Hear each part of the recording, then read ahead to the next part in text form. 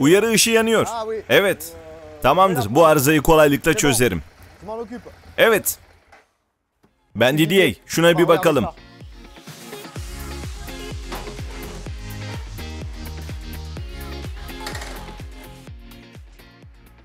Burada 2010 model Ducati 696 var. Müşteri motorun dengesiz çalıştığını ve gösterge panelinde bir uyarı ışığının yandığını söylüyor. Bir bakalım. Evet, kesinlikle. Burada uyarı ışığının yandığını görebilirsiniz. Euh. Arızanın ne olduğuna bakalım.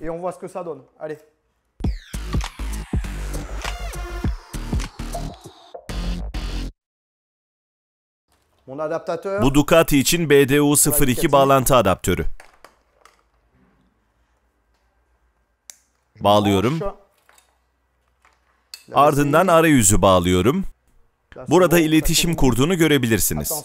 Acil durum sevicinin çalıştır konumunda olduğundan emin olun. Kontağı açalım. Ve şimdi motordaki hata kodlarına bakalım. La prise, c'est bien la 02. Voilà. Ha. Burada bir problemimiz var. Lambda sondası ile ilgili bir hata kodu. Lambda sondası arızasının hangi sebeplerden kaynaklanıyor olabileceğini Türkçe olarak görebiliyoruz. Burada sondaların görsellerini bile görebilirsiniz. Voltajı kontrol etmemiz gerekiyor. Hata kodu açıklamasında Türkçe olarak arızanın meydana getirdiği sonuçlar ve nedenleri görebilirsiniz. Müşterinin şikayet ettiği yetersiz motor gücü ve düzensiz çalışmayı burada görebiliyoruz. Başka bir muhtemel sebep olarak da yakıt tüketimi gösteriliyor. Kısa devre olup olmadığını kontrol edebiliriz. Arıza hakkında ayrıntılı genel bir tabloyu görüntüledik. İlk yapacağımız şey hata kodunu silmek olacak. Burada görüyorsunuz. Silindi. Tamam. Ve şimdi sorunun devam edip etmediğini görmek için kontağı kapatıp tekrar açacağız. On éteint la moto. On remet le contact. On est bien sur run.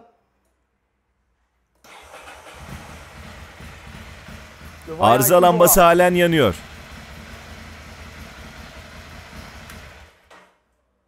Arıza hala devam ettiği için ilgili sistemi kontrol edeceğiz. Lambda sondasını çıkaralım ve neler olduğunu görelim.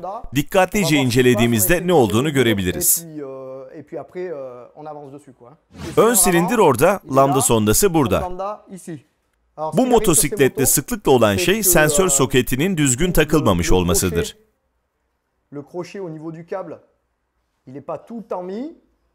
Kablo ile egzoz temas ettiği için arıza olabilir. Soket bağlantısını sökelim. Zaten pek de sağlam görünmüyor.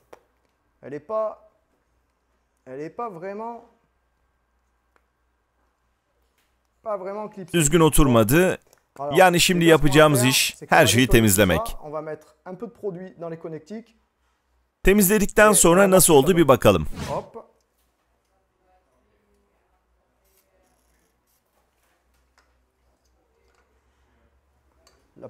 Fişi ve soketi iyice temizliyoruz. Tamam.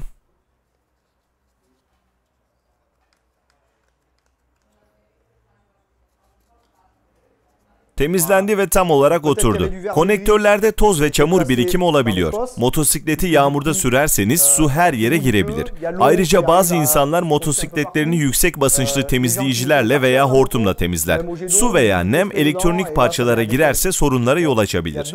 Bu motosiklette biri arka silindirde, diğeri önde olmak üzere iki lambda sondası bulunmakta. Bunlardan biri hatalı ise o silindir için ideal karışımın hazırlanmasına yönelik değerler artık doğru olmayacaktır. Le volume d'essence à envoyer dans les injecteurs. Ah, ben là, Ama burada dikkat edin. maintenant, je me demande même Bağlantıda bir sorun olup olmadığını merak ediyorum. Allez, alors on va Konnektörü de olabildiğince uzağa yerleştirin. à sa place et on va l'accrocher très haut.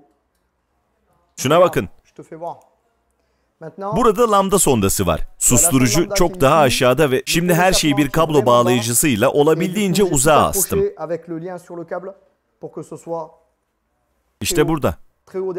En azından şimdi yüksek ısıya maruz kalıp zarar görmeyecek. Şimdi arıza kodlarını silelim. Ardından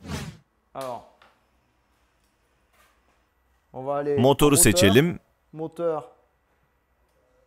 Teşhis konnektörü. VCI hala takılı. Şimdi basacağım.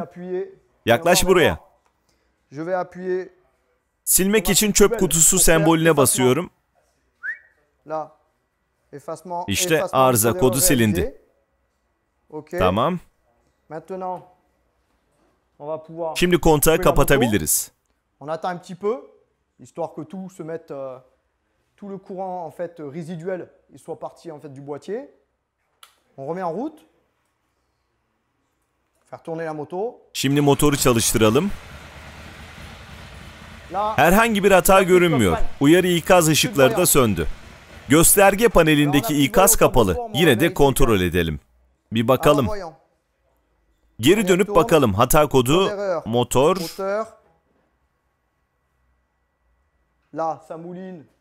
Şimdi tekrar bağlantı kuruyor. Kontrol ünitesinde hata bulunamadı. Her şey yolunda görünüyor. Bir hayli zaman kazandık. Motosiklet hızla onarıldı. Tekrar sağlıklı bir şekilde çalışıyor. Müşteriye motosikletini teslim edebiliriz. Çok kolay bir işti. Bu işlemde çok kapsamlı arıza tespit cihazı modeli Hella Gutmann Megamax 56'yı kullandık.